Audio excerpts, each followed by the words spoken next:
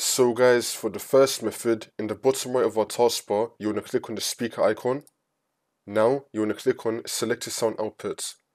Make sure that you have your correct output device selected.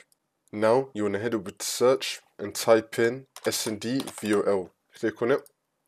And now once we're on this, we're going to find Firefox. So now once you find Firefox, make sure that this is not muted and that you have this turned up. See if that works for you. If that's still not working, then for the second method, you're to head over to search and type in services. Click on it.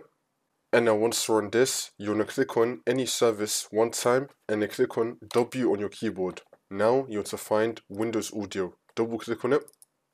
Make sure that you have the startup type on automatic and then click on start, which will now make the service status running. And then click on OK.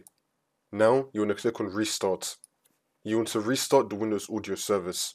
See if that works for you. For the last method, you want to head over to search and type in add or remove programs. Click on it.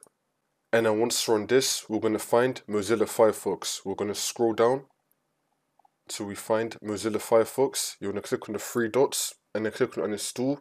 Then you want to uninstall Firefox. After you uninstall Firefox, you just want to re-download it again. There's going to be a link to it down below in the description. Once you reinstall Firefox, this should now fix your problem.